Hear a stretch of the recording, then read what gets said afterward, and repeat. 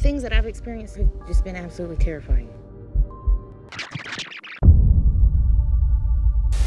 My name's Jason Hawes. The Atlantic Paranormal Society, aka TAPS, was created by me in 1990.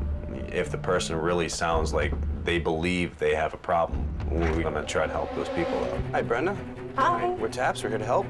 Glad you could come. I'm an ex-Marine. I shouldn't be scared of this stuff, but I was scared. It's gotten to the point where I'm thinking of moving.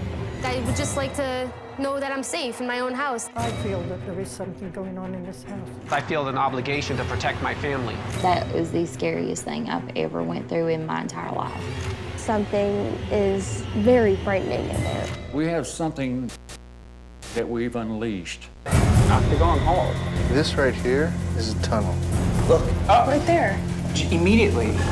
Are you serious? What was it? Ah! Have you ever seen anything so scary your mind can't believe what your eyes are seeing? Woodruff Fontaine House.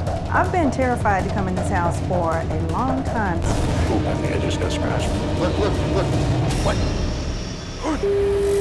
Taps, guys, I really, really need your help.